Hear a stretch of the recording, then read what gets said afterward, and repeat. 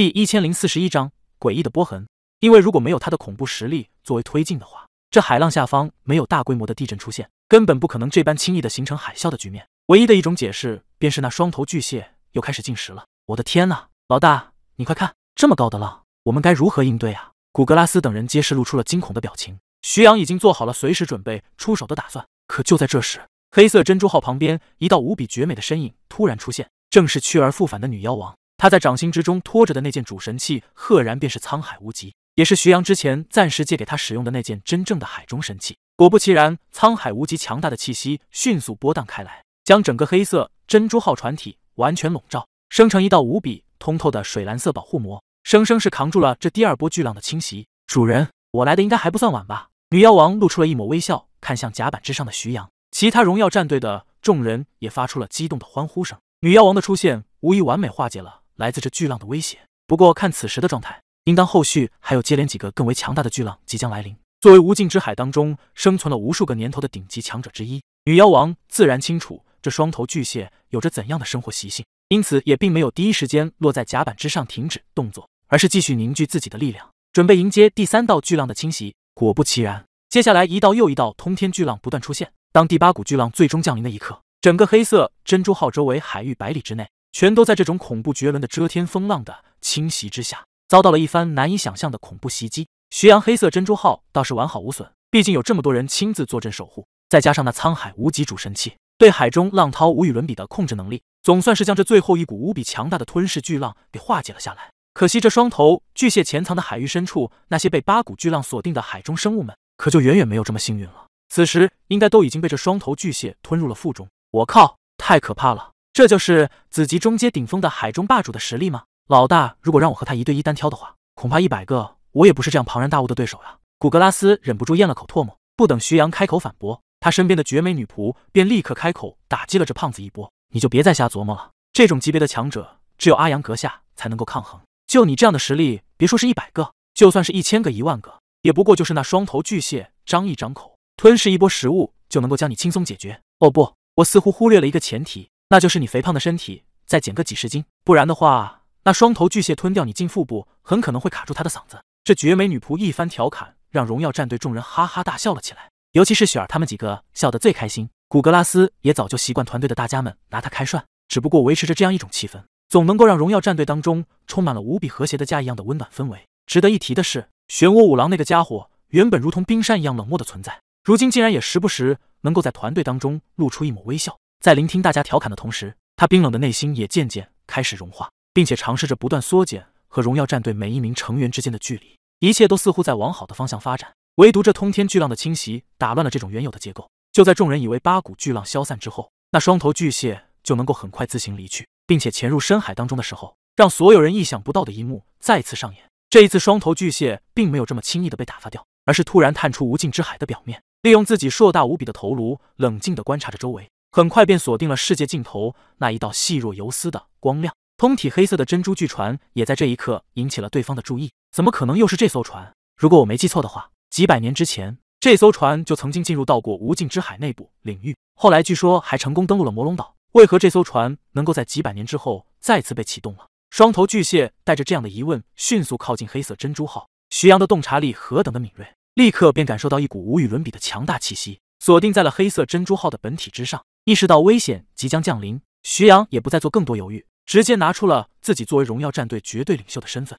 打算和这个真正的海中霸主一决高下。你们都守在船上，不管发生怎样的情况，没有我的命令都不准脱离黑色珍珠号。这一战交给我亲自处置，不要试图过分的靠近我。万一黑色珍珠号真的发生了什么变故，对于我们来说就得不偿失了。徐阳认真下达的每一道命令，荣耀战队众人都会严格执行。因为他们很清楚，徐阳是唯一一个永远也不会欺骗他们感情的老大。要知道，对于一个团队来说，建立起相互信任、彼此相互依靠的关系是相当的困难的。可如今值得庆幸的是，徐阳荣耀战队已经在很早之前便达成了这样一种特殊的默契。看着所有人都老老实实、规规矩矩的站在这黑色珍珠号的甲板之上，徐阳也就没再有什么不放心，直接带着漩涡五郎那个家伙腾空而起，直奔那双头巨蟹所在的位置。老大，你看这海平面上。为何突然有两道灯火一样的光芒？玄武五郎属实也是一脸懵逼，开口询问徐阳。只不过他得到的回答却是让人大跌眼镜。那并非是什么灯，无尽之海中怎么可能会存在这种火属性的力量波动？只有一种可能，那便是我们所看到的这两道光，并非是什么灯笼，而是独属于双头巨蟹的两个巨大的瞳孔。当徐阳面色凝重，说出这番话的时候，身边的漩涡五郎已经被吓得有些怀疑人生了，但是还是不敢相信。放眼整个瀛洲大陆，恐怕还没有哪一个兽皇能够拥有如此庞大的肉身。第一千零四十二章炼体数十万年。我的天呐，老大，如果真如你所说的那样，这家伙恐怕只需要甩一甩自己的头颅和尾巴，就能够将你我两人的防御力彻底摧毁。这种堪称恐怖的存在，真的是没有办法用言语来形容呀！难怪他能够被誉为这无尽之海亿万众生当中的三大顶级霸主之一，果然是名不虚传。徐阳冷笑一声，踏空而起，直接来到了这两道通红色的大灯笼头顶上方，以一种俯视的姿态凝视着面前的双头巨蟹。不要再挣扎了，你刚刚伤了我的人，说吧。到底想要怎么办？果不其然，那被漩涡五郎看成是两只聪明的大灯笼般一双瞳孔，就这样悄无声息地浮现在了水中，表面露出半个头来的样子，这才让漩涡五郎彻底相信了这家伙的恐怖实力。头一次见到客人还敢当着主人的面如此放肆的提要求呢！你们两个都已经死到临头了，居然还在想着这些有关利益的事情，真的是一种可悲啊！徐阳冷笑一声，对你这种家伙说话，无非对牛弹琴，我才懒得和你掰扯什么。现在我只给你最后一个机会。要么继续以这样的姿态向我的黑色珍珠号发动进攻，要么就与我堂堂正正的巅峰对决一次。我要当着团队众人的面儿剥夺你海中霸主的权利。不得不说，这个双头巨蟹其他方面可能没有那几个霸主级的强者过硬，可是论及速度方面以及战斗方法和策略的程度，这个大块头根本不逊色于荣耀战队其他任何一个成员。仅仅只有徐阳能够在这些方面压制得住他。很好，人族，既然你这么执意想要送死的话，本尊不妨就成全你一次。这双头巨蟹可不是吃素的。毕竟这么长时间以来，被他吞噬过的无尽之海当中的顶级强者们已经不计其数，他根本不在意。为了如今再次触怒自己的黑色珍珠号，提前发动进攻。很快，双头巨蟹一点点脱离无尽之海海平面的沿线，就这样悬浮在半空中。绝对值得一提的是，一旦修士突破了子级，不管是人族还是其他种族的修士，都能够觉醒一定程度的飞行能力。起码像此刻双头巨蟹这种长时间悬浮在半空中进行空中作战的神通本能，便能够成为子级强者的专属配置。徐阳不做更多犹豫，再次祭出了自己强大无比的玉骨神剑，本体肩膀悬浮在自己的背后，焕发出来的神剑图腾气息格外的森冷逼人。光是此刻徐阳整个人爆发出来的气场，就已经能够让下方海域平面震颤不已。而随着双头巨蟹一并亮相，这海域周围领域内全都变成了两人巅峰对决的私人战场。所有的一切海中顶级族群和生物们都自动自觉地退出到了万米方圆开外的位置，给这海中真正的霸主以及来自域外的顶尖人族强者。提供了最为完美的战场空间。我了个擦！你们看到了没？那个双头巨蟹的本体居然已经达到了这种程度，十几只大象凑到一起，估计只能勉强抵得上它的身形轮廓呀。这是要吃了多少东西才能够膨胀到如此地步？我说古格拉斯，你不是自认为百晓生小百科吗？你倒是给我说说看，这个双头巨蟹已经在无尽之海海域当中生存多少年了？古格拉斯故作一副思考的颜色，却是半天都没能给出一个正确答案。倒是他身边的绝美女仆冷冷的白了古格拉斯一眼。而后将几十万年这几个字脱口而出。我的天呐，几十万年打这个家伙，就算三天进食一次，几十万年加起来的吞噬过的食物总量也是相当的惊人了。女妖王站在黑色珍珠号甲板上，远远的眺望过去，似乎也有点开始为徐阳的处境担心起来。虽然他很清楚徐阳的实力已然足够强大，可是正所谓关心则乱，如今的女妖王对徐阳的感情十分的特殊，她是真的害怕徐阳在自己的面前受到伤害，因此。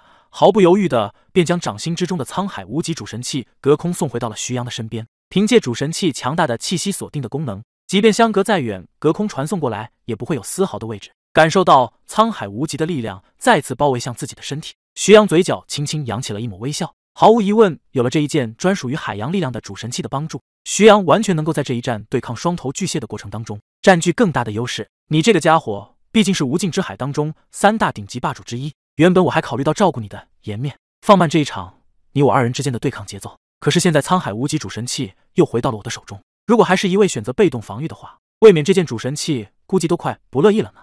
徐阳冷笑一声后，突然腾空而起，一股神剑图腾在虚空中幻化出无穷无尽的剑芒，仍旧是他最喜欢的一招释放了出来。紧跟着，徐阳精神力作为牵引，让这半空当中无穷无尽的剑芒同时落在双头巨蟹的本体之上，轰隆隆，恐怖绝伦的力量。在这一刻完全爆发，始终站在徐阳身边的漩涡五郎，在感受到徐阳这一波力量压制效果爆发之后，也是忍不住倒吸了一口凉气。他很清楚，如果这样的力量换做其他任何一个目标，恐怕早已经能够让对方的肉身支离破碎。可是眼前的双头巨蟹飞弹没有丝毫躲避的意思，反而选择用自己无比锋利的两只前爪横挡在自己的面前。这无穷无尽的剑芒，就仿佛是一些生了锈的铁剑打在无比坚韧的盾牌之上，仅仅只能听到一些噼里啪啦的撞击之声，而后便是这一道又一道虚空剑芒走向崩碎的场面出现。而眼前的双头巨蟹，包括他用来遮挡着两只巨大的前爪，仍旧是完好无损的样子，甚至连一道斑驳的痕迹都没能在他的身上留下。天哪，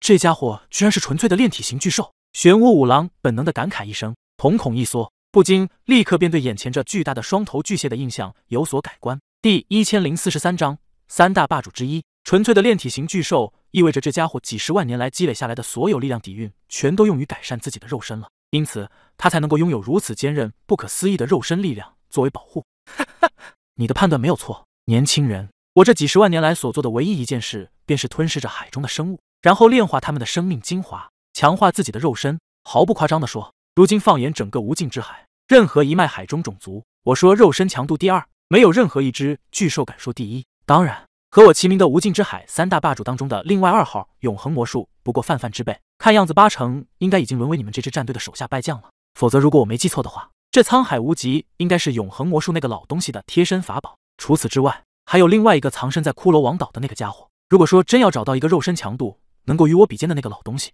应该也是其中一号。至于其他的无尽之海中有一个算一个，没有谁能够拥有比我更为强大的肉身。如果你们想与我作战的话，最好将你们团队的所有人全都派上用场，否则的话，就你刚刚那几道剑芒打在我的身上，连挠痒痒的力道我都嫌不够。听到这双头巨蟹如此狂妄的口吻，徐阳却是忍不住哈哈大笑了起来。说到底，他纵横修炼界这么多年，还是第一次有人嫌弃他的攻击力量不够强大了。罢了，原本我还并不想这么早施展自己真正的力量，毕竟现在还没有登陆到魔龙岛，更早的暴露自己的底牌，并不是我喜欢做的一件事。可现在既然碰到了你，就我的判断。你的肉身强度已经能够堪比灵力修炼体系当中的巅峰造诣。既然是这样的话，那我就提前彰显自己真正的力量，同样也来让你开开眼界。听到徐阳这么一说，眼前的双头巨蟹竟是露出了一副惊喜的神色。那太好了，已经不知道有多少万年没有人敢在我的面前这般自信的，我倒还想真的看一看你所谓的最强底牌究竟能够达到怎样的程度。这样吧，咱们来进行一场游戏，我让你接连打我三个回合，如果你真的能够伤到我的话。我可以放过你背后那一船队友们活着离开。如果你做不到的话，我会将你背后的那些队友们当成食物，当着你二人的面将他们完全吞噬，然后再一点一点的折磨你们两个。怎么样？这场游戏听起来是不是很有趣呢？徐阳冷然一笑，三个回合太多了，你只需要给我一个回合，我就能够让你后悔来到这个世界上。接下来，徐阳也不再跟眼前这个大块头继续客气什么了，整个人已然前所未有的认真下来，而后他的玉骨神剑本体就这样毫无预兆的突然消失。殊不知，这正是需要彰显最终奥义的前奏。当这一幕出现的时候，黑色珍珠号上的林瑶露出了一抹微笑，轻轻开口道：“你们不是一直以来都想见识老大真正的力量吗？睁开你们的眼睛看仔细了，接下来的这一剑将会刷新你们所有人对力量极限的想象。”林瑶是怎样的性格，荣耀战队的众人太清楚。不过他从来不是一个愿意虚张声势的家伙。既然他都这样开口说了，毫无疑问，徐阳这一次真的是认真了起来。荣耀战队当中的每一个人都瞪大了自己的双眼，全神贯注地凝视着万米开外那核心战场中央徐阳的一举一动。紧跟着，徐阳玉骨神剑本体在虚空当中凝聚出来的剑道力量，一次又一次的叠加。以徐阳如今的精神力造诣，巅峰状态之下，应该已经能够将这一剑的威力叠加三十次。当然，那样的力量，徐阳是用来对付更高级的对手的。劈开眼前这个紫级巅峰及肉身强度的双头巨蟹，叠加二十次便足够了。只一刹那间。海面之上，一道万丈惊雷轰然崩下，无穷无尽的云雾在这一刻绽放出了破碎虚空一样的光芒。紧跟着，被虚空的力量接连叠加了二十层的玉骨神剑本体当空斩下。这一剑蕴藏的锋芒气息，还没等爆发全部的力量，就已经让甲板之上的每一个人彻底傻眼了。我的天，你们看，老大的那把剑剑芒周围的力量形态好像已经发生了变化，已经由气态完全凝固化。我的天呐，这个世界上居然还有能够将气息凝固的手段！这就是来自荒芜的尽头之外更广阔世界所独有的力量吗？真的是太不可思议了！古格拉斯、李斯特等人全都将目光紧紧锁定在林瑶的身上，想要在这个丫头的口中挖掘出一些自家老大更加高大上的秘密。林瑶却只是轻笑着摇了摇头：“我只能告诉你们，老大真正的实力，你们才领略了不过冰山一角。他在域外世界是能够直接和掌控天地法则的至尊神王相抗衡的存在，那里才是他真正的舞台。就连你们瀛洲大陆这个世界共同信仰的神。”恐怕就算是他如今想要战胜老大最巅峰的姿态，也已经很难了。普朗西斯夫妇无奈的耸了耸肩，合着弄了半天，只有我们在一脸认真的冒险。这样程度的挑战，对于老大来说，不过就是在体验生活罢了。有他在的话，就算是那魔龙岛上的魔龙，恐怕也没有办法伤到我们吧。林瑶的脸色立刻变得难看了许多。你们这样的想法就大错特错了。对于任何一名学生而言，不管他身处于怎样的环境，如果丧失了前进的动力，那么这个人和咸鱼又有什么分别呢？老大就算再强，那也只是属于他一个人的能力。即便是我和他出生入死在一起这么多年，也从来没有奢望过能够在他的身上分享到什么。一旦经历真正打生打死的决战，你们才会明白，能够依靠的只有自己的力量。就算别人再强大，护得了你一时，也绝技护不了你一世。林瑶的话。雪儿应该算是体会最深的一个，因为当初刚刚建立马戏团改造工程的时候，徐阳就曾经对雪儿说过，他不会一直留在瀛洲大陆陪伴着荣耀战队的每一个人，只希望能够在共同经历的这一段征途当中，为彼此留下最美好的记忆和过往。至于大家能够在徐阳的帮助之下得到怎样的提升，全凭各自的造化。第一千零四十四章斩杀。经过林瑶这样一番切身的疏导，荣耀战队每一个人也都渐渐有所顿悟，从刚刚的认知误区当中很快恢复了清醒。同样也更加坚定了奋进的脚步。你说的没错，老大只能成为我们的榜样，却永远也不可能成为我们的身上的铠甲。我们要以他为信仰和荣耀，一路追逐下去，不断的突破自己的极限，才能够不断的拉近与你们那个层次世界的人之间的距离。这才是我们应该有的一种思维。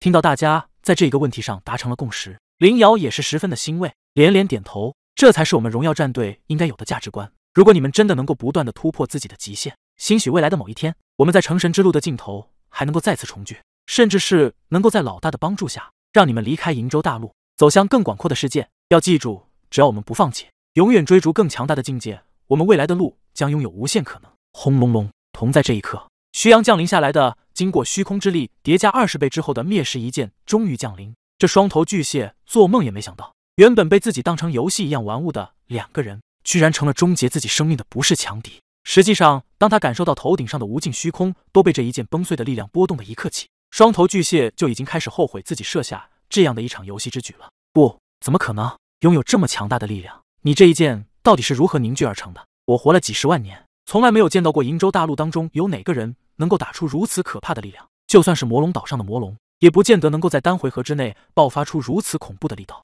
双头巨蟹作为无尽之海当中的三大霸主之一，纵然他没有亲自登陆上魔龙岛。但他对魔龙的认知也一定要远远超过其他一些种族。可当他感受到徐阳的这一剑，甚至要凌驾于魔龙之上的时候，他才终于明白，眼前这个人根本不是来自瀛洲大陆，而是荒芜的尽头域外强者降临。屁话少说，魔龙能够打出怎样的力量，跟你有什么关系？你现在只需要遵照我们之间的游戏承诺，拿出你最强大的守护力量，对抗我这一剑就可以了。徐阳的声音冰冷到了极点，甚至还夹杂着一丝嘲讽和愚弄，因为对方将自己逼入这样的境地，全都是他自作自受。敢和徐阳装逼的人，他从来都不会予以饶恕。果不其然，这灭世一剑最终还是劈在了双头巨蟹的其中一颗头颅之上。毫无疑问，他那点防御能力如何能够扛得住二十倍叠加状态下的灭世一剑？当场就削爆了一颗头颅，恐怖的力量瞬间覆盖向万米战场领域的每一个角落，惊起了万丈惊涛不说，甚至连双头巨蟹那其中一颗头颅下方对应的大半个身子都给打得支离破碎。要不是徐阳及时收手。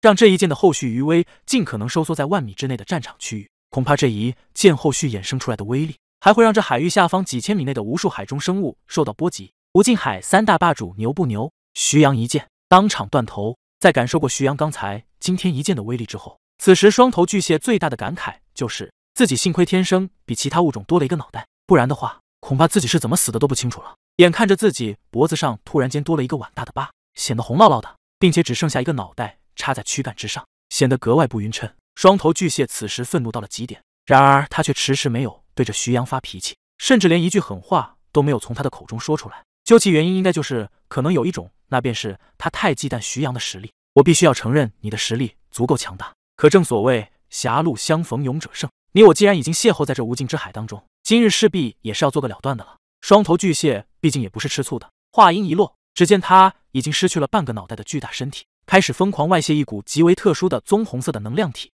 这种能量体在极短的时间内迅速脱离双头巨蟹的肉身，而后开始以潮涌一般的形态疯狂扩散向周围海域深处，并且这种特殊能量体的密度是远远要大于海水的，在极短的时间内迅速下沉，如同数不清的液态巨石一般疯狂地覆盖纵向而下。也正是在这期间，徐阳的洞察力何等惊人！一双金色的瞳孔瞬间照射向下方海域深处，想要观察这种特殊的能量体对这水下深处的那些海中物种能够造成怎样的影响。不过他这一看却是心惊不已，忍不住倒吸了一口凉气。你这个家伙到底是想做什么？双头继续哈哈大笑了起来。没什么，阁下不用这么紧张。凭你的实力，在我的面前根本不需要摆放出这样一种姿态。我只不过是将你施加给我的压力变了一种方式，转嫁给下方那些卑微的食物罢了。双头巨蟹这个形容词用的一点毛病都没有，因为无尽之海原本就是一个极度遵从食物链等级的生态局域，弱肉强食，适者生存，没有人能够改变这样的规则。双头巨蟹作为无尽海当中三大霸主仅存的两位之一，自然拥有绝对主宰级的权利，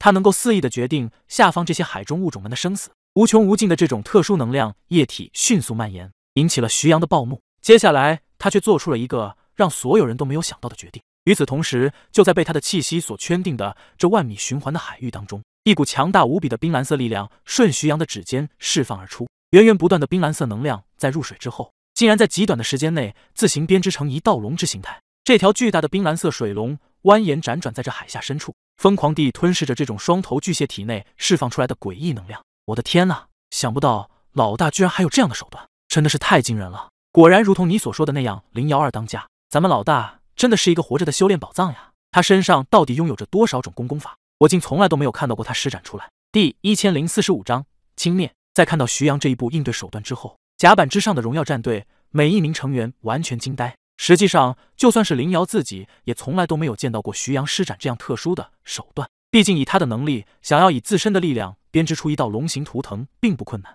可如何确保这条龙魂形态在海浪之中还能够如此游动自如，并且按照徐阳的意愿疯狂吞噬这种来自双头巨蟹本体当中的能量体？这可就大有学问了。殊不知，徐阳爆发出来的这一招手段，是在他同时开启体内七道气旋的前提之下来完成的。而这一招化气卫龙，也是上清元气道秘典当中的一种强大功法。以荣耀战队众人如今上清元气道的修炼进程，根本没有人能够染指这一招。能量龙魂的这一波操作，再次惊呆了双头巨蟹。也是让这家伙恨得牙根痒痒。该死，这个人族在进攻的时候几乎没有任何弱点可言。看来想要打破眼下的被动局面，我只能找机会在自己的进攻方面寻求突破了。双头巨蟹终于意识到，如果当着徐阳的面玩防守的话，那么自己这仅剩下的一颗头颅也将在不久之后就此消失在徐阳的手中。眼下唯一的办法便是转守为攻，寻求主动。即便自己并不擅长进攻型的手段，可是他的实力毕竟摆在那里，自己终结巅峰的海中霸主。瘦死的骆驼比马大，就算他不使用任何功法力量，纯粹凭借肉身强度挥动手中的这两把巨钳，也能够轻而易举的对抗人族自己强者。果然，这双头巨蟹还是一个雷厉风行的行动派。在确立了这样全新的战术方式之后，这家伙便立刻开始有了动作，手中两道前肢吱嘎吱嘎的不断响动了起来。然后他的身法速度也在这一刻爆发到了前所未有的程度，本体就这样悄无声息的掩藏进下方海域。最先破碎掉徐阳凝聚在水下深处的这一道游龙图腾，而后用自己无比锋芒毕露的蟹钳一路疯狂地推进。巨大的两只前爪每一次合并在一起，都能够轻而易举的粉碎所遇到的所有海中生物，而崩碎它们身体的同时，双头巨蟹几乎在顷刻之间就能够完成对它们生命精华的吞噬。因此，这一波水中游走，算是在极短的时间内为双头巨蟹恢复到了战力巅峰的状态。与此同时，这家伙巨大的身体迅速来到徐阳所在的虚空位置，对应的下方水域最近的距离，刚好在这个地方能够精准捕捉到半空中徐阳的气息方位。臭小子，你仰仗着自己强大无比的进攻能力，就敢对我下如此重手？今天我要让你整个人为我破碎的一颗头颅陪葬！双头巨蟹心中暗暗发誓，被一个人族斩下自己的一颗头颅，对于他来说算是前所未有的巨大耻辱，也让他原本想要统治整个无尽海中王族的进程被迫终止。殊不知，这个大家伙自作聪明的把戏早就被徐阳看在眼中。他虽然整个人悬浮在半空之中，并没有深入到水域内部，可是徐阳的一双瞳孔又岂能是寻常人能够揣度的？就在这时，让徐阳没想到的是，双头巨蟹那破出一个大洞的脖颈位置，竟然毫无预兆的又生长出一颗头颅来。当然，这一颗新生头颅远没有原装版本那么精致而强大，看起来更像是一个摆设。不过徐阳很清楚，对方之所以这么做，是因为想要第一时间封印住伤口。避免从中不断流淌出强大的生命力本源，消耗自己的战斗力。呵呵呵，弄一颗假的头颅出来，不过就是你掩耳盗铃的行为罢了。可笑，徐阳根本不在意，并且这家伙更像是故意而为之，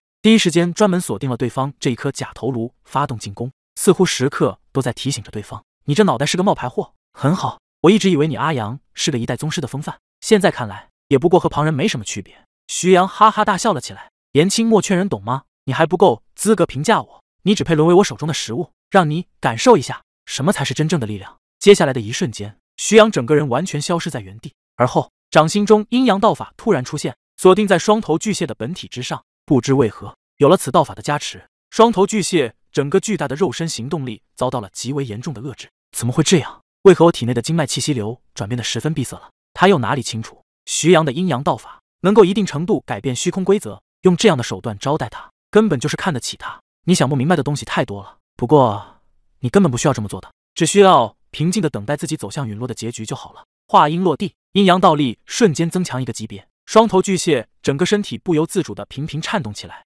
哈哈，让我来告诉你原因吧。你之所以感觉自己体内的力量运转不畅，是因为你这头颅是个冒牌货，根本不具备你真正头颅的坚韧程度。稍加力道，他的血脉气息运转就会被阻塞。试问？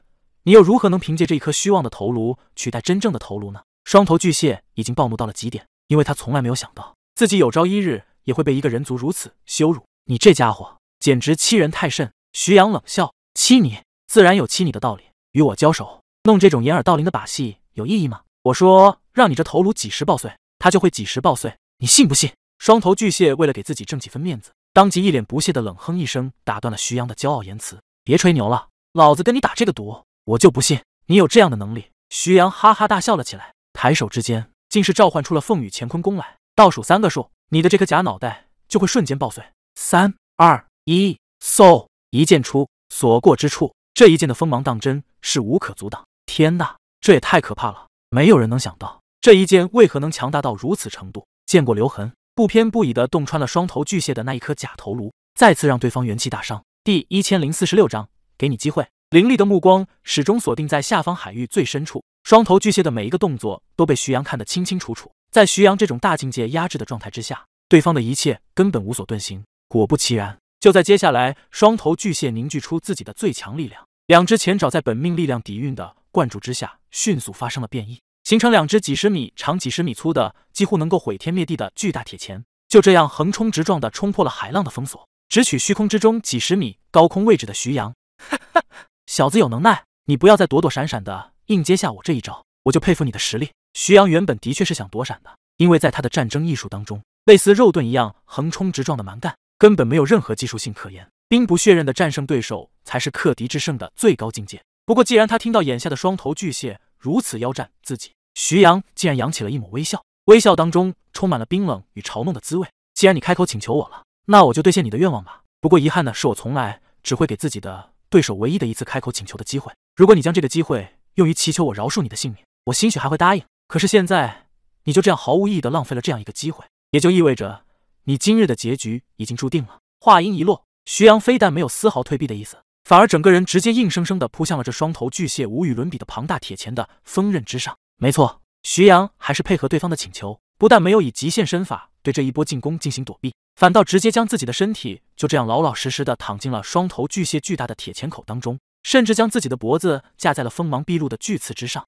就这样给了对方剪下自己头颅的一次机会。来吧，你不是对你这两只巨大的前爪很有信心吗？那我就给你一次报仇的机会。如果你要是没能够剪断我的脖子的话，那么很遗憾，这一场战争从接下来开始，你将没有任何出手的可能了。双头巨蟹哈哈大笑了起来，这笑声竟是传到了海平面万里之外的黑色珍珠号甲板之上。更是让荣耀战队的每一个人心惊胆战。不得不承认，这双头巨蟹原本拥有的实力真的是足够可怕了。可惜他遇到的人是徐阳，这个连神都要为之忌惮的恐怖存在。你真的是太狂妄了！你原本有一百种方法可以将我置于死地，却终究还是要因为你的狂妄自大付出生命的。你并不了解我的这两只铁钳，看似没什么威胁，却能够将我所有的灵力的力量全部融入其中。也就是说，现在你脆弱的脖子即将面临的力量。乃是一个灵力等级达到紫级中阶巅峰程度修士的最强一级小伙子。如果你真的还有来生的话，一定要做一个低调的人。像你这么高调的话，早晚都是要吃大亏的。双头巨蟹竟然忍不住提前扮演起来审判者的角色，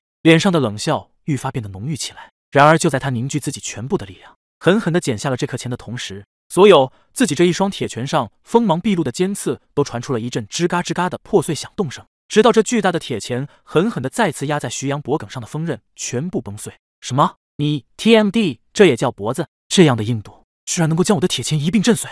毫无疑问，双头巨蟹已经因为这一波结果开始怀疑人生了。他做梦也没想到，一个人族洗干净脖子给自己剪，非但都没能斩下对方的头颅，反而这锋刃之上的所有利刃都在这一刻土崩瓦解。看着自己原本十分整齐的前爪巨钳上的锋刃，此刻却变得支离破碎，被活生生开了一个巨大的空洞。双头巨蟹已然暴怒到了极点，可是他已经无能为力了。面对徐阳这个没办法用常理来揣度的家伙，双头巨蟹第一次在这一战当中萌生了退意。呵呵，感觉怎么样，小螃蟹？我一向最喜欢吃螃蟹的前爪。如果你不介意的话，我会在将你斩杀之后，用你这两只并不完整的前爪作为我美味的晚餐。当然，我还需要在这之前解决一个麻烦，那就是要弄一口足够大的锅，要不然你这么大个的螃蟹一顿真的煮不下呢。徐阳打趣的玩笑声同样精准无误的传递到这海域周围的一切角度，自然也将荣耀战队的每一名成员逗得哈哈大笑。大家也都开始跃跃欲试，摩拳擦掌，准备着享用今夜的晚餐呢。能够将这无尽之海当中最强大的三大霸主之一活捉并且下锅的话。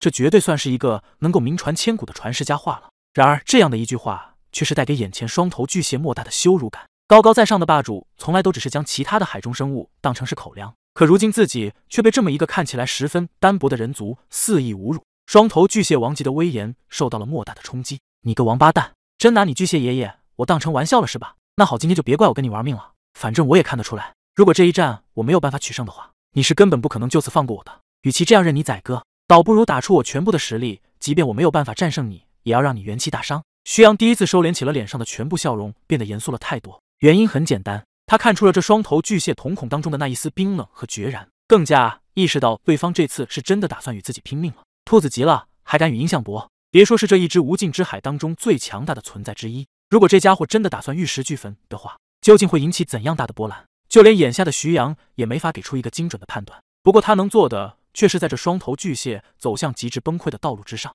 及时遏制住他的节奏。终于，双头巨蟹咬紧牙环，周围八股巨浪再一次冲天起。第一千零四十七章清醒。只不过这一次，双头巨蟹兴起八股巨浪，并不是为了吞噬周围的海中鱼类，补充自己的体内能量，而是将自己体内积攒了数十万年的生命精华全都自主燃烧。与此同时，恐怖的生命力在极短的时间内迅速外泄。它原本如同巨鲸一般大小的身体轮廓。在以肉眼可见的速度迅速萎缩，也正是因为它体内如此源源不断的生命精华的疯狂释放，吸引到了这无尽之海与周围无穷无尽的顶级海中生物的聚集。我明白了，这个家伙用这样的方式引诱周围所有的庞大海族疯狂聚集，要不了多久，成千上万甚至更多的海中鱼类全部聚集到此。一旦这个家伙找到合适的时机完成自爆，那积累的生命精华定然会带给无尽之海那些海中万族一场真正的浩劫。八股巨浪的疯狂，加带着双头巨蟹体内无与伦比的生命精华纯度的诱惑，聚集而来的海中的鱼类种族，远要比徐阳想象中还要庞大。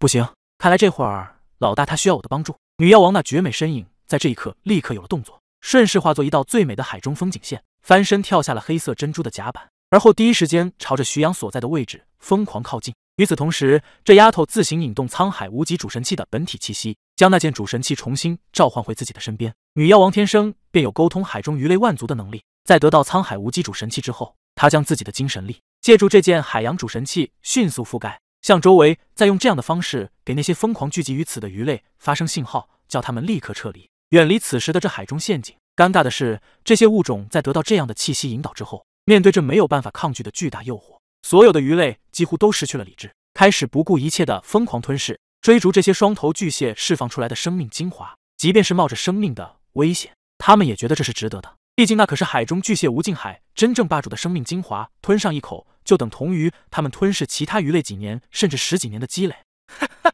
我的子子孙孙们全都来吞噬吧！你们这些卑微的海中生物，既然老子没有办法统一整个无尽之海，那就拉着你们一起陪葬。终于，当八股巨浪完全消失的一刹那。双头巨蟹本体原本橙黄色的光芒，在这一刻迅速变成了血一样的嫣红，而后扩散出来的危险气息迅速覆盖向周围万里之内的全部海域。也一直到这一刻，那些聚集而来的强大海中生物们才终于意识到，这双头巨蟹根本不是在发福利，而是真的以诱惑的方式将他们拉进了深渊。来不及了，我们居然中了这个疯子的圈套！以他的实力，一旦自爆之后，力量将会瞬间席卷整个无尽海，万里之内的一切海中鱼类物种都将走向灭绝。一些后赶来的经验比较成熟的海中顶级生物们立刻做出了这样的判断，他们也终于明白女妖王刚才的一番劝说并非是空穴来风，真是悔不当初。我要是听从女妖王的号令指引的话，也就不会招致今日的祸患了。白色鲸鱼族的领袖悔恨不已的感慨着，旁边的一些顶级强者们也都纷纷附和，一脸忧伤的模样。他们此时所在的位置，距离双头巨蟹释放本源的核心领域不过百里的距离，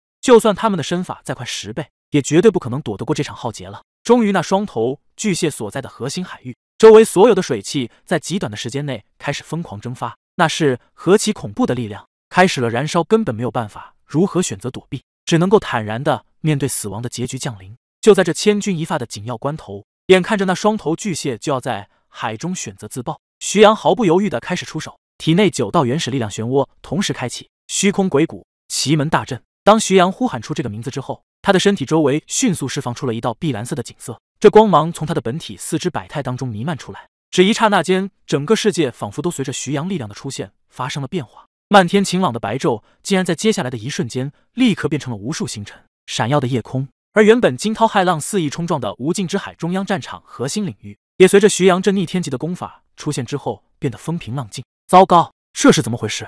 双头巨蟹的气息怎么消失了？老大，他这又是施展了怎样的把戏？眼神空茫的看着此时星空闪耀的夜色，黑色珍珠号甲板之上，荣耀战队的每一个人完全懵逼了。毫无疑问，徐阳此时的动作再次刷新了他们对力量的认知极限。我靠，老大他到底还藏着多少种令人惊艳的手段？这到底是怎么一回事？连天地之间的自然规律都能够改变，这他妈还是一个人能够拥有的力量吗？古格拉斯索性直接瘫坐在了甲板上。一脸茫然无措的凝视着璀璨的夜空，徐阳过于强大的表现让他一度觉得自己的修炼毫无意义，因为和他这样的人相比，自己穷尽一生追逐的境界，恐怕连徐阳一个小指头动一动的引发出来的力量无法相比。胖子不用这么绝望，虽然你一辈子也没有办法和咱们老大相提并论，可是你也有你的精彩，毕竟你还有这么一个漂亮的女仆追随左右。如果你这么快就绝望的话，他该怎么办？李斯特那家伙叼着雪茄，一脸坏笑的拍了拍古格拉斯的肩膀，看起来是在安慰他。实际上，李斯特这一番话说出来，古克拉斯 TMD 更加不想活了。谁知道，就在古格拉斯内心防线濒临绝望的时候，他身边那个绝美女仆果断站出来补刀，冷哼一声，抱着双臂，一脸鄙夷的看了自家主人一眼，真是个没用的东西，只知道自暴自弃。就算你没有办法和徐阳阁下相比，你的实力也已经超越了瀛洲大陆西域百分之九十的修士，更何况你还拥有徐阳老大战友这样一个无与伦比的荣耀身份，今后横行整个西域也不在话下。那种。站在顶峰的绝顶人物相比，你说你不是自讨苦吃吗？你这样的家伙就应该整天把你吊在树上打上一顿，才能让你更加清醒。第一千零四十八章合作。果然，古格拉斯这家伙还真是天生的贱胚子。被自己的绝美女仆骂了一顿之后，果然清醒了不少，嘿嘿笑着挠了挠头，又一脸自信的重新站了起来。你说的不错呀，丫头。我现在虽然一辈子也没有办法和徐阳老大相比了，可是和别人比起来的话，我古格拉斯也是响当当的一号人物。就凭我掌控在手中的这些情报，放眼整个瀛洲大陆西域，也根本没有任何人能够与我相比。这样的优势同样是无可取代的。想通了这一点之后，古格拉斯这死胖子似乎又一下子找到了属于自己的自信，一脸憨笑，重新站了起来，引起了身边李斯特等人的一致鄙夷目光。殊不知，此时的徐阳第一次施展虚空领域的鬼谷奇门之法，同样也是将他体内的先天元气调动到了极限，同时开启九道气旋。对于徐阳来说，虽然不需要用吃力这个词来形容，可也。同样是将他真正的身体潜能极限程度的释放了出来，因为现在的徐阳还没有办法领悟到第十气旋的开通，因此九道气旋的程度已经是徐阳能够释放出来的身体力量的极限。而他也是第一次尝试将鬼谷奇门大阵以虚空领域的程度释放出来，却没想到第一次用就取得了巨大的成功，甚至连带着周围这一方天地、原始时空的规则都因自己对照极限奥义的施展发生了改变。说到底，之所以徐阳这一招出现，连天地都变了颜色。时空都发生了不同形式的改变，是因为徐阳的这一招本就是连通天地道法规则的一种道德极致演化。此时，所有沉浸在徐阳规则当中的每一个人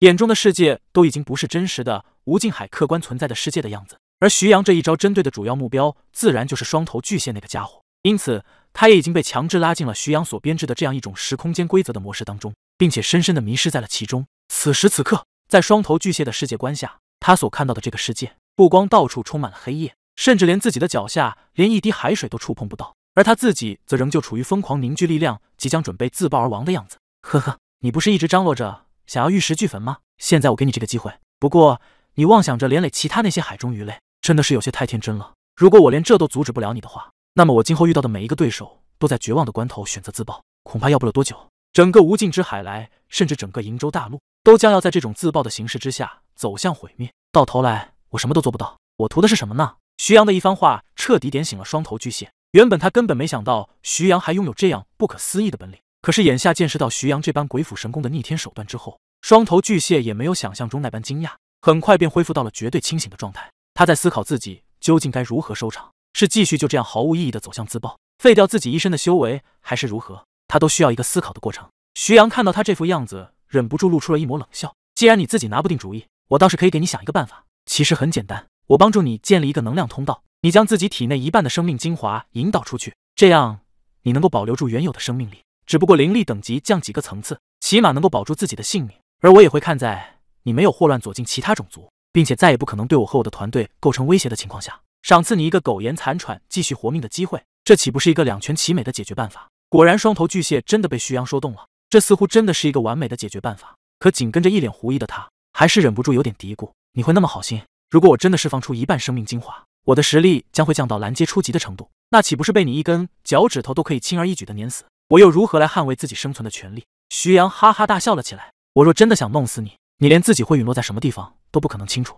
还会和你费这么多话吗？作为代价，你只需要自行贡献出一只前爪，作为我和我队友们今夜的晚餐，我就放你回归无尽海深处。这是我对你许下的一个承诺。徐阳跨进一步，突然探出一根手指，指了指头顶虚空，紧跟着一道璀璨的雷光轻轻垂下。勾连在了徐阳这根手指之上，这是修士之间一种独有的许下诺言的方式。一旦违背自己的承诺，许下这承诺的人将会遭到天道的惩戒。虽然双头巨蟹甚至都开始怀疑，就算是瀛洲大陆内的天道之力，很可能没有办法胜得了徐阳。可眼下他还有其他的选择吗？他原本就是在徐阳面前一个卑微到极致的食物罢了。终于，双头巨蟹下定了决心，决定用这种断臂求存的方式圆满结束今日这一战。而后，只见他毫不犹豫地削下了自己右手。源源不断的生命精华顺着他断掉的右臂前爪释放了出来。殊不知，同在这一刻，徐阳在自己创造的时空间领域当中凝聚出一道虚空之门，对接黑色珍珠号甲板。这一招也是徐阳在虚空不远处漩涡五郎的帮助之下建立起来的。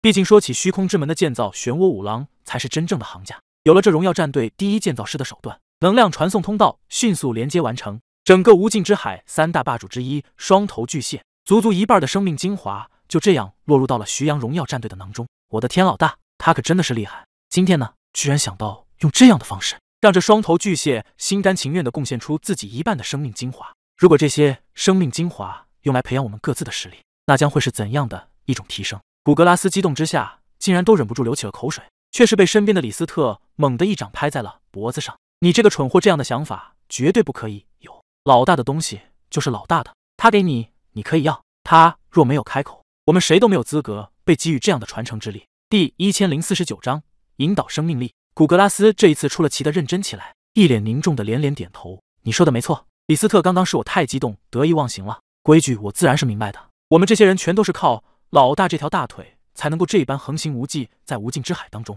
没有他本尊亲自点头，我们谁有机会染指这股能量精华？事实上，徐阳本人远没有荣耀战队这些成员们这么严肃。之所以第一时间将这股能量转移到黑色珍珠号甲板之上，就是为了供大家享用的。不过荣耀战队这些兄弟们如此懂得规矩，倒也让徐阳颇感欣慰，因为起码这样做彰显了他们内心深处对整个战队、对徐阳自己的无与伦比的尊重。他们并没有因为短期内获得巨大的利益和提升而产生更加贪婪的野心，从而颠覆徐阳这个老大对整个团队的意义和影响力。很多时候，足够巨大的利益真的能够让一支原本团结的队伍在顷刻之间分崩离析、土崩瓦解。然而，这样的情况却永远也不可能在荣耀战队当中出现了，因为这样一支队伍，每一个人心中都有自己足够坚韧的尺度。这也正是徐阳当初创造荣耀战队所坚守的初衷。心术不正的那种人，也不可能有资格成为他的队友。很快，这双头巨蟹庞大的身体一点点开始萎缩变小，最终由一只鲸鱼一样的肉身轮廓萎缩成了一头大象那么大。不过这样一来，他原本很是突兀的双头巨蟹的轮廓，终于在这一刻变成了真正的单头巨蟹的样子。比起之前脖子上露出一个巨大的空白，现在的他整体身形也显得十分的匀称。感受到自身的修为实力跌落到了蓝阶中级，再也不可能对徐阳团队当中的任何一个人带来任何的压力之后，徐阳终于停止了对双头巨蟹体内生命力的掠夺，为他保存了足够的生存能力，这才真正停止了动作。好了，爪子也留下了，生命本源也已经被我引导完毕，现在的你又重新获得了自由。巨蟹再也没了之前那般骄傲的姿态和高冷的脾气，现在在他站在徐阳的面前。乖巧的如同一个孩子一样，趴在地上还不忘虔诚的用自己只剩下一只前爪连连对着徐阳做出作揖的动作，感谢阁下不杀之恩。巨蟹，我真的明白了，什么叫做人外有人，天外有天。原本我还妄想着统领整个无尽之海，现在看来，我的想法真的是太天真了。徐阳露出了满意的微笑。你这样的野心根本没有任何意义，因为就算你再怎么强大，你也只是一只魔兽，永远也不可能被赋予人族这样的创造力。因此，你所吞噬的再多力量，也终究是有极限的。而你的极限也注定了你没有办法统御整个无尽之海。据我所知，不说魔龙岛上的那只雄霸天下的魔龙，就算是仅存的另外一个无尽海当中三大霸主之一骷髅王岛上的那个主人，实力应该也是凌驾在你之上的。阁下是如何判断出来的？巨蟹也是一脸懵逼。他没想到徐阳对骷髅王岛上那个家伙也颇有耳闻，毕竟那家伙何等的神秘，已经近万年没有有关他的传说出现在无尽岛上了。哈 哈因为刚刚你在提到他的时候，我能够感受到你灵魂深处对那个家伙力量的敬畏。凭你的巅峰状态，应该也没有完全压制他的把握，否则的话，你征服无尽之海的第一站一定会是骷髅王岛。征服了那个家伙，让他臣服于你，再想统治整个无尽之海，岂不是如同探囊取物一般容易？可你并没有那样做，所以我就判断。那个家伙的实力恐怕已经达到了紫级后期。巨蟹无奈的叹了口气。正是如此，骷髅王岛上那一只霸王金刚实力现在应该是紫级后期，接近巅峰的程度，比我强大半个等级。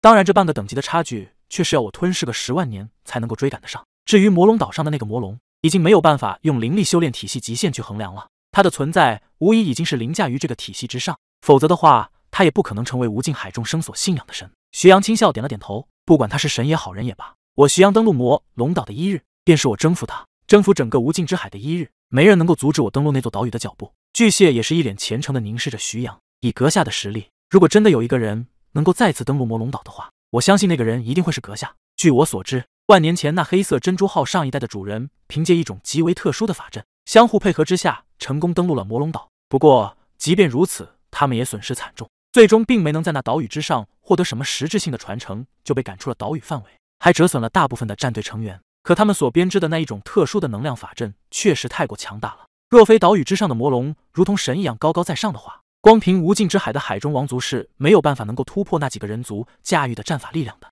毫无疑问，徐阳很清楚，这巨蟹口中所指的黑色珍珠号上一代主人正是魔龙战团那几个最强长老，也从这巨蟹口中得知，那三大最强长老的底牌手段应该也是足够的强大了。罢了，你的价值都已经体现了出来。现在就该是你同归无尽之海的时刻了。如果你真的还能够凭借自身实力顽强的生存下去的话，再过个几万年或者是几十万年，你仍旧能够成为这海域当中最强霸主之一。我在刚刚引导你生命精华的时候，刻意保留了你的一部分先天生命本源，因此将来若你勤加修炼，还是有重新回到子级的可能的。巨蟹感恩戴德，趴在地上对着徐阳连连磕头，而后几乎是含着眼泪，就这样重新回到了无尽海当中。在他离去不久。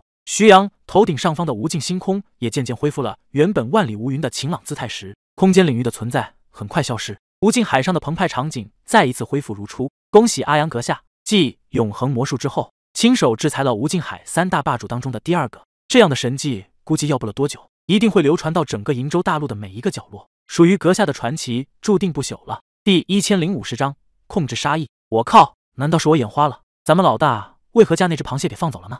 留下来炖汤喝，它不香吗？古拉斯眼泪汪汪的摸着自己空空的大肚皮，感慨了一波。身边荣耀战队其他一些成员似乎也都是一脸百思不得其解的样子。毕竟之前徐阳都已经用如此恐怖的力量将之镇压了，为何又在最后选择放他一条性命？不过这样的答案只可能在徐阳那里得到解惑。很快，当徐阳带着自己这只战利品巨大的螃蟹前爪回到黑色珍珠号的时候，荣耀战队一众成员纷纷凑上前来，第一时间将他围成一圈。你们不用这样子看着我。我当然明白你们想问我些什么。那只螃蟹已经被打回蓝级的修炼强度，对我们再也构不成任何的威胁。更何况，它体内一半的生命本源精华都已经被我倒回到黑色珍珠号当中，留给你们这些家伙来修炼。如此的馈赠，难道还换不回他一条没什么价值的性命了吗？当听到徐阳这样一说，荣耀战队其他成员们皆是一脸惭愧的低下了头去。不得不承认，他们也都开始反思自己是不是是不是太过贪婪了一些。不过这样的场面并没有持续太久。徐阳扑哧一笑。打破了眼前片刻的沉静。瞧你们那副蔫头耷拉脑袋的模样，在修炼界，弱肉强食乃是再基础不过的规则。只不过，我想向你们传达一种念头：得饶人处且饶人。当对手已经彻彻底底的丧失了对你们的威胁，能不杀的就尽量不杀，也算是对后世子孙积累下一点福泽了。因为长时间的杀戮会在修士的内心深处积累一定程度的凶戾之气。虽然短时间内这种负面效果并不会在你们的身上完美展现出来，可是，一旦积累到一定程度之后，必然会给你们后续修炼带来极大的困扰，甚至会在紧要关头给你们带来走火入魔的生命危险。